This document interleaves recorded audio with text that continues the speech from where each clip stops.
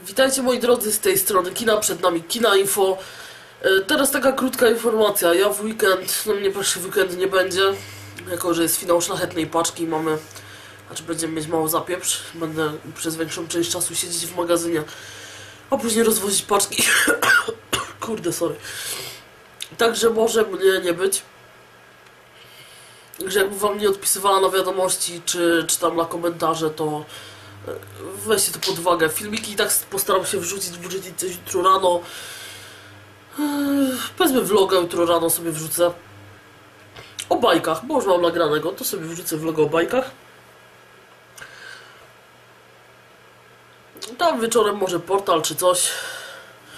Może siądę do Minecrafta, chociaż nie wiem, zobaczę jak się będę, będę dzisiaj czuła, bo też się czuję nie najlepiej. Moi drodzy, ale ogólnie ten taki na info jest dlatego, że mam do was straszną sprawę. Znaczy chodzi mi tutaj o osoby, które grają w Batmana Arkham City i są tam na którymś tam danym procencie. Słuchajcie, utknęłam w jednym miejscu, już nawet ściągałam pierdzielony poradnik do tej gry.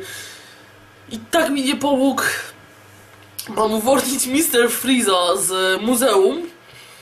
I tam jest ten taki zamek, wiecie, wbudowany przy drzwiach. Ja do niego podchodzę. Ale ja w ekwipunku nie mam pod tą pierdzieloną piątką. Sorry, nie wyciszyłam tego. Nie mam pod tą pierdzieloną piątką tego, kurde, jak to się zwie, no tego, żeby ten kod roz, roztentegować, no. Ja nie wiem, co ja mam zrobić, ja już mam dość, napiszcie mi.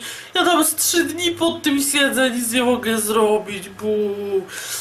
No, Może nie siedzę trzy dni, ale naprawdę nie wiem, co z tym zrobić, dlatego to jest pytanie dla was. A tak ogólnie to komentujcie, subskrybujcie, łapki w górę mile widziane. Ja was pozdrawiam, kina.